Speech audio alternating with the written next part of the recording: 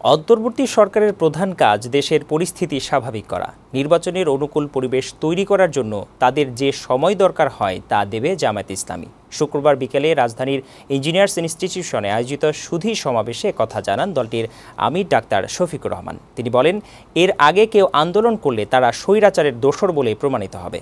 ফরহাদুজ্জামানের প্রতিবেদন। সম্মিলিত পেশাজীবী পরিষদ ঢাকা মহানগর উত্তরের উদ্যোগে রাজধানী রমনায় ইঞ্জিনিয়ার্স ইনস্টিটিউশন মিলনায়তনে এই সুধী সমাবেশের আয়োজন করা হয়। এতে অংশ নেন ব্যবসায়ী, আইনজীবী, চিকিৎসক, কৃষিবিদ সহ বিভিন্ন পেশার মানুষ। এতে বক্তারা বলেন, বিগত সরকার রাষ্ট্রের সব সাংবিধানিক প্রতিষ্ঠানকে ধ্বংস করে দিয়েছিল। এখন এসব প্রতিষ্ঠান সংস্কার ও দেশ গঠনে সবাইকে এগিয়ে আসতে হবে। ট্রুথ কমিশন গঠন করে এইখানে যত মন্ত্রী, মিনিস্টার তারপরে আমলা সবাই কিন্তু লুণ্ঠনে জড়িত ছিল অনেক ব্যবসায়ীরা ছিল। সবগুলো জাতির জন্য উদ্ঘাটন হওয়া দরকার। এখন আমাদের সময় আসছে শিক্ষাকে পুনর্গঠিত করা।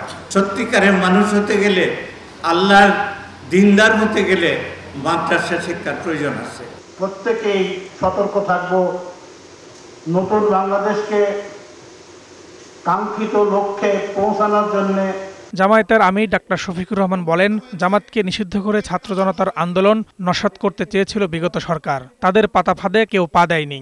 বর্তমানে যে সরকার আছে, তাদের মূল কাজ হচ্ছে রাষ্ট্রের যে বিশাল ধ্বংস সাধন করা হয়েছে, প্রাতিষ্ঠানিক জায়গাগুলোকে এলোমেলো করে দেওয়া হয়েছে, সর্বনাশ করে দেওয়া হয়েছে। দ্রুততম সময়ের ভিতরে তারা এগুলাকে পুনর্বিন্যাস করবেন।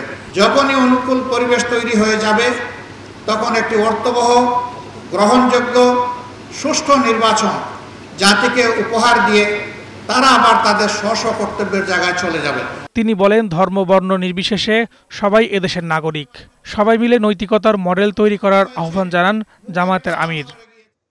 ফরহাদুজ্জামান, বৈশাখী সংবাদ, ঢাকা।